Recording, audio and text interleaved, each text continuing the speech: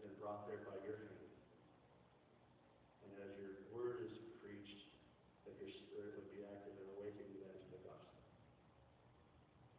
We pray for those that are serving and helping in all